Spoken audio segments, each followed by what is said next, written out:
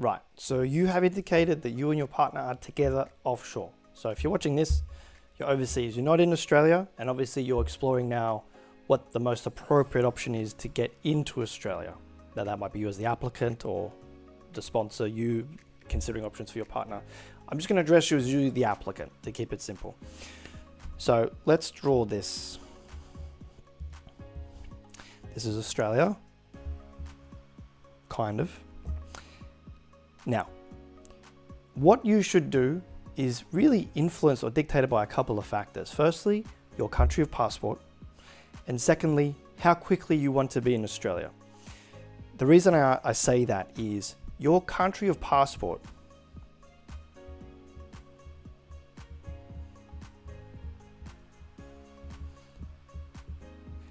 pretty much dictates how easy it is for you to get into Australia on a visa. If you hold a passport from Europe, the States, Canada, etc., then you are eligible for an ETA or an e-visitor, which are instantly granted more or less and cheap if not free. These are multiple entry, 12 month valid visas, and they are a way in. Once you are in, you can then look to explore to submit the onshore partner visa, which is a combined application for two visas, the 820 and the 801. Both require that you are in a genuine married relationship when the visa is submitted, or a genuine de facto relationship when the visa is submitted, plus prove you've been in a de facto relationship for 12 months prior to lodgement, or waive the 12 month requirement. If you'd like more information on how to waive the 12 month requirement for de facto couples, please have a look at our YouTube channel. There's a video there dedicated to talking about that in a lot more detail. So, this is the first variable. What is your country of passport? Are you able to come into the country easily? If you are, then depending on the answer to your to the next question dictates if this is the appropriate option. If your country of passport is not one that permits the ETA or the e-visa being granted to you, and you have to apply for the manual tourist visa to get into, into Australia, then depending on the outcome of that application, you know, if it's approved, then depending on the conditions they put on it, then that might be an option to come onshore and apply for an onshore partner visa. But if it's refused, you can't. You can't come onshore, it's been refused, you're not eligible for another streamlined tourist visa. And realistically, there really aren't many other ways into Australia. Um, there really is a handful of temporary visas that get people into Australia. They are these tourist visas that I've described, student visas, working holidays, and potentially you know being sponsored by an employer in, which is very rare. So let's assume it's none of those, and you're exploring the pathway of leveraging one of these temporary tourist visas to get a partner on shore.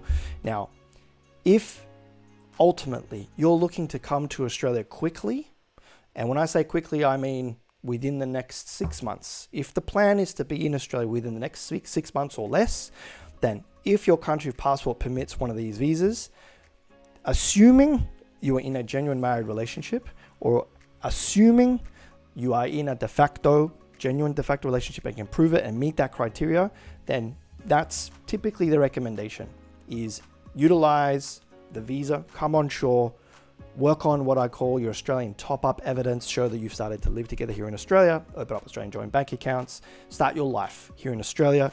Use the time that you have on your multiple entry tourist visa, which is typically three months on your entry, and submit this onshore partner visa before the expiration of that three month period. Get your bridging visa A automatically, and then you have work rights, you have study rights, you have Medicare, rights, and most importantly, arguably, you're in Australia waiting for that onshore partner visa together with your Australian partner who can come in on their Australian passport. So that's a quick crash course of that, that pathway. If, however, your country passport does not permit this and you must apply manually, whether or not this is an option depends on the outcome of this visa. Now, there's a YouTube video dedicated to talking about a bit of this in, in a lot more detail in in that the context of that video is when couples are apart, but it still applies to the situation. In even if couples are together offshore and you're trying to get in quickly, you know, if you want to be here within the next six months, then we suggest exploring this option. The reason is that the tourist visa can be granted in a couple of months. These are instantly granted. So if they work, you're in quickly. If then, however, the answer to the question is we don't have an immediate rush to come to Australia because this the context of this video is talking to couples that are together overseas. And that typically means the Australian sponsor is living and working where the applicant lives. Might be their home country, might be a, mutual kind of third country that both the applicant and sponsor are in. If you have a projected need to come into Australia, but it's not immediate, it's not in the next six months, but you know it's within the next 12 to 24 months, then this may not be appropriate. What may be appropriate is to bypass all of this and assuming you are in a married or de facto relationship or even engaged, you would apply for an offshore partner visa. Now, there's really kind of two pathways for offshore partner visas. There's the 309 for couples that are de facto, de facto married, and then there's the prospective marriage visa for couples that are engaged. Which of those is suitable to your facts really depends on a, a lot of factors, a lot of variables, and I can't record a video that kind of covers them in detail, specific or bespoke to your situation. That is, of course, the type of conversation we can have with people that book calls with our team. But a quick summary, quick recap is that if you have no immediate need to come right now, but you know it's in the near future, in the next 12 months or more, then perhaps skip this altogether. Don't waste your time or money in submitting tourist visas, getting ETAs when they may not be necessary and you might be better off just applying directly for the offshore 309 300.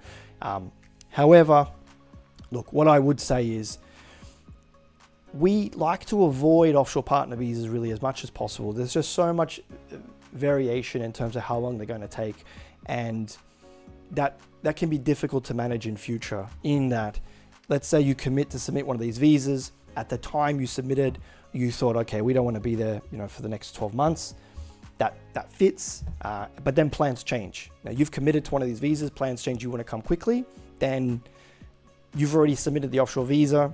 You might still be able to get one of these visas that come in, but it doesn't, you, you don't get bridging visas for offshore partner visas in that situation. So the point is that if your country of passport permits the ETA or e-visitor, I would probably almost be inclined to say there's no need for you to really ever consider this offshore pathway.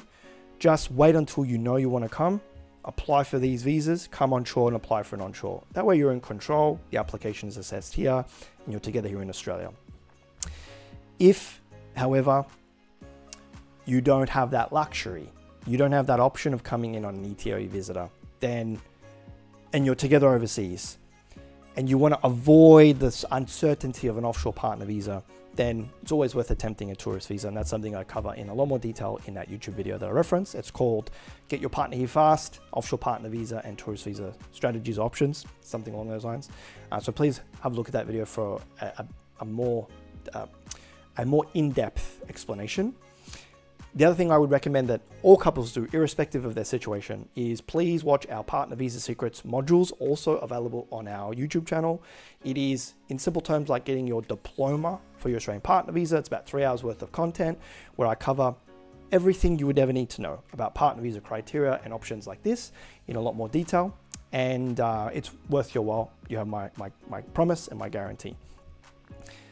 Lastly, for couples that would like to have a conversation around this strategy or options and are interested in our team handling the process for them, somewhere around this video there should be a link to book a call with our team. We offer free calls for couples that are interested in our services. So please have a look around and book a call at your convenience.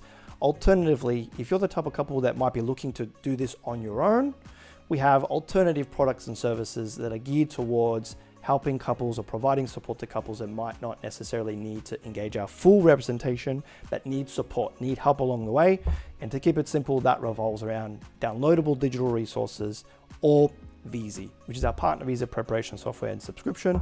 In simple terms, it gives you access to chat support while you prepare your own application using the system itself.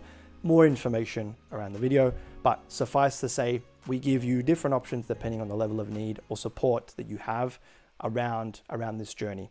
So I hope this video helps Martin from Salvo Migration and I look forward to hearing about your partner visa journey in future. Thank you very much.